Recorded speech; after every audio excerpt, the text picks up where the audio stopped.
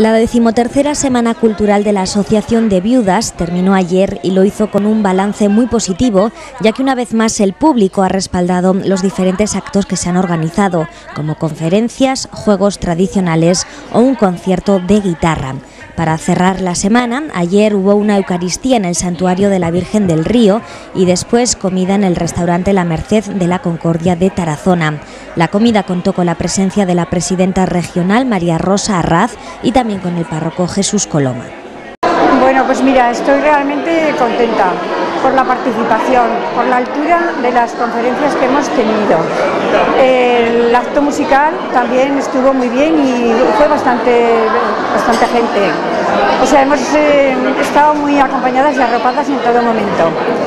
Eh, quiero agradecer desde aquí al Ayuntamiento, que con sus técnicos de cultura pues nos atienden en todo lo que nos hace falta, lo mismo a la comarca, que los técnicos que tienen también para la atención ciudadana se han puesto a nuestro servicio y de todo el mundo estoy francamente agradecida. Hoy tenemos nuestro último día, que hemos tenido una Eucaristía en la Virgen del Río y ahora estamos en el Hotel La de la Concordia para tener nuestra comida de hermandad. Como verás, todo está muy animado, es un día verdaderamente de fiesta. Creo que nos lo merecemos, pues somos un colectivo trabajador y que vamos siempre adelante con coraje y con decisión. Durante la misa se realizó un homenaje a la viuda mayor y fundadora Carmen Martínez. Se le entregó un ramo de flores y una poesía en un acto muy emotivo. Las socias compartieron una comida muy animada donde el café estuvo amenizado con una actuación musical. Ahora, la Asociación de Viudas coge vacaciones y descansa en la organización de eventos hasta después del verano.